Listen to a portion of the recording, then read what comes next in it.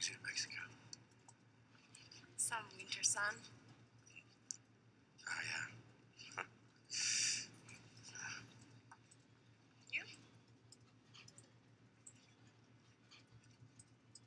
Uh, um, I'm a journalist. Journalist? Cool.